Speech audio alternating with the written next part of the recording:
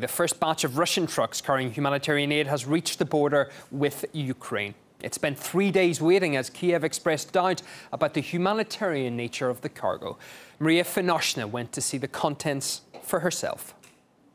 These 16 trucks from the Russian humanitarian convoy are the first to reach the Russian-Ukrainian border. They are now parked here, literally meters away from Donetsk-Zvarina border checkpoint. Earlier today, the cargo these trucks are carrying has already been inspected by the representatives of International Red Cross, and now we are going to do the same.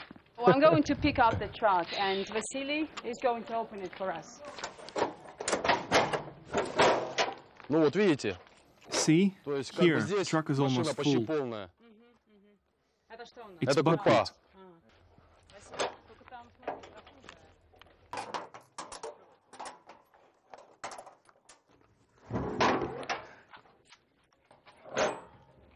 Везем 8 тонн. We're carrying 8 tons.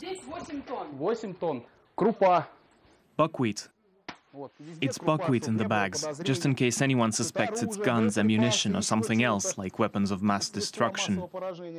Denise tells me that each bag is 50 kilograms, and there are 160 bags here, uh, which means a total uh, is 8 tons. And this is, he tells me, the maximum of what this truck can carry.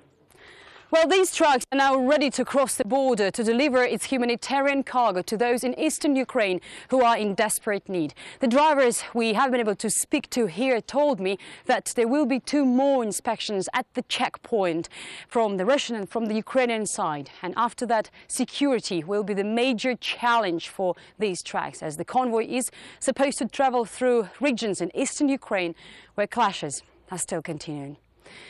Marie Finoshina, RT, Russian-Ukrainian border.